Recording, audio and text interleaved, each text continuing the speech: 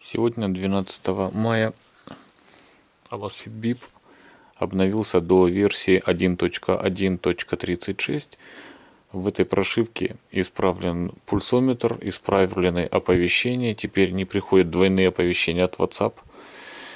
И также, по заявлению производителей, исправлена э, геолокация. Точнее, ее отображение. Пульс меряет и быстрее, и более-менее адекватнее. Это первое, что хотелось бы отметить.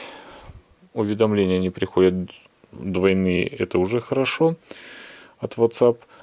Э, проверял несколько раз, перезагружал девайс, все нормально работает. Не знаю, может быть только у меня, но я заметил, но по шагам плюс-минус одинаково ровно было на трех предыдущих прошивках. На 36-й прошивке еще не проверял шагомер. Далее пульс стал намного лучше отображаться. На любую вибрацию у меня не насчитывается шагомер. Если делать даже большие вибрации, шагомер стоит на нуле. Но если идти, то считает довольно-таки адекватно обновился сам автоматически. Версия Мифита у меня китайская.